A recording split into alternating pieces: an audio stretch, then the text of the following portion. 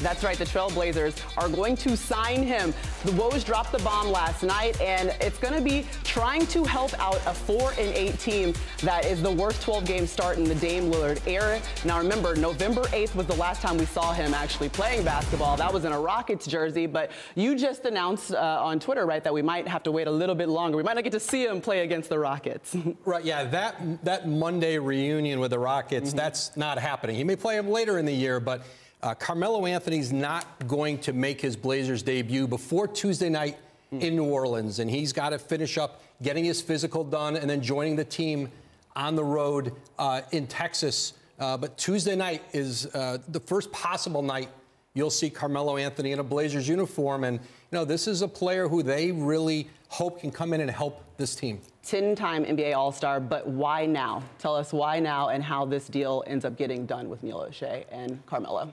Well, listen, this is a team that has struggled. Injuries to, you know, Zach Collins, that the, their four man, Yusuf Nurkic is out, you know, since last season.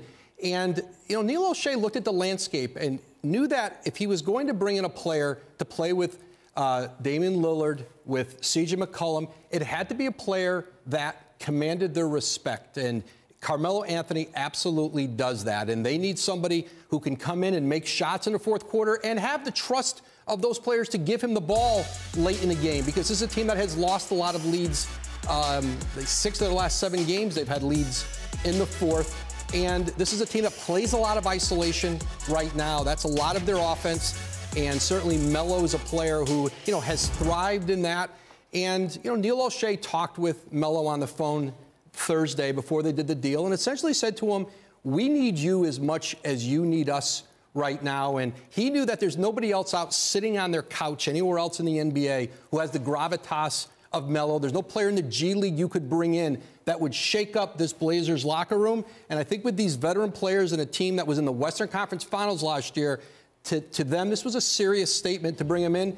And, you know, CJ McCollum worked out all summer with Melo in New York. They shared the same trainer. And both McCollum and Damian Lillard said, let's bring Chris him Brickley, in. Yeah, mm-hmm. Chris Brickley. I, I really want Melo to win, and I think his game is like an old man game. It can fit in uh, with all the isolated ball they play because he can definitely knock down that catch and shoot shot now. But Jay Rose, here's I, I get worried about it just a little bit, okay? Portland has lost their last six to seven games. All right, they're coming up on a six, six game road streak and six game road game, yep. road streak, and also the fact that Melo isn't great. I messed up, RJ. Don't play me. You know what I meant to say. Get out of here. But like, here's my point. They're the they're the worst defensive team in the fourth quarter. So we all know Melo's not great defensively. And my thing is, I just want to set expectations for everybody. Like, hey, look, this is going to be a little bit of a grind. He's got to find his way. But still, like, we have to give him the benefit of the doubt as a player. I think eventually he will shine, though. It's just crazy to me. Over the last couple of years, I personally have been lauding for Colin Kaepernick to get an opportunity and for the last year for Melo to get an opportunity. And they both individually getting them on the same weekend. Mm-hmm. So this is actually a win for the league in a lot of ways. Number one, he's a future Hall of Famer and he deserved to go be- out better than what happened in Houston.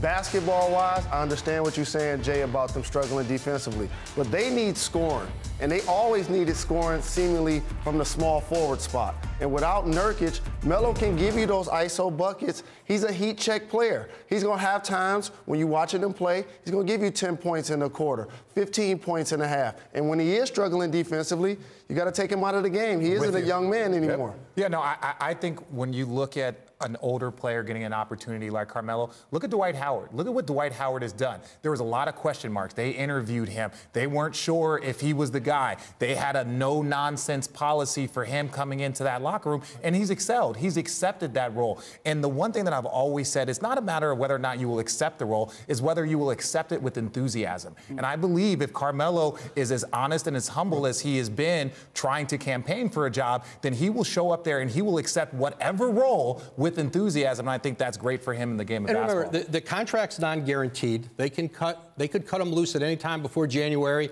And you're in a position now where 40% of the league was a free agent last summer. That means they can't be traded until December 15th. It is hard to make a trade right now. So to improve your team, you know, there are not a lot of options out there.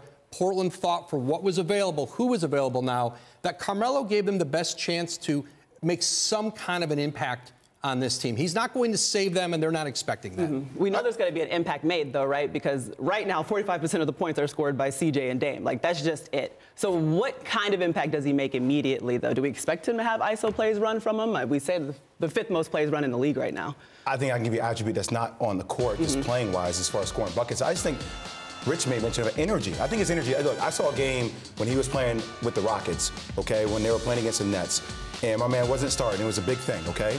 He went back into the locker room until his number was called in the second quarter is when he came back out. All right, so like my thing is Melo being the Melo was this summer, talking to everybody, being engaged, looking enthusiastic, wanting to play, wanting to buy into that role. I think that sets a different tone for a team than the Melo that we saw in the past. What do you think that we're going to see from Melo? I think he's going to be humble. I think he's going to be enthusiastic, as you guys mentioned. But also, this is not just about the Portland Trailblazers. Mm-hmm. If he does well here, he can probably get attached to another team if it doesn't necessarily work out long term if he does d- decide to retire. So it's bigger than just what he does with the Portland Trailblazers. You were traded at points later on in your career, and you had to assume different roles. Just walk us through the mindset of going through probably what Melo finds himself going through right oh, now. Oh, so I lived through a year of it. I lived through a year of it. Yeah. So, so when you feel like you're in your prime, mm-hmm. your ego plays a big time factor. Sure. You don't want to reduce role. Mm-hmm. You don't want to play less minutes, right. and the media knows that. And when it happens on those nights, they come and instigate and ask you mm-hmm. those questions. When you get a little bit older, you should modify your thinking because you're probably getting more tickets to the game than you're playing minutes. Yeah. When that starts to happen, you become an older player. People ain't showing up as much to come mm-hmm. and check you out. Mm-hmm. So now for Melo, he's been humbled. Okay, he's been out of the league, having people campaigning for him to get an opportunity. Now he's back in the game. I think he's going to get some joy playing in the league again. Well, either way, the Trailblazers they add a former scoring champion and a guy who's second in points, career points, only behind LeBron James. So that is an added value. We'll obviously see how it works. Thanks for watching ESPN on YouTube. For more sports highlights and analysis, be sure to download the ESPN app. And for live streaming sports and premium content, subscribe to ESPN Plus.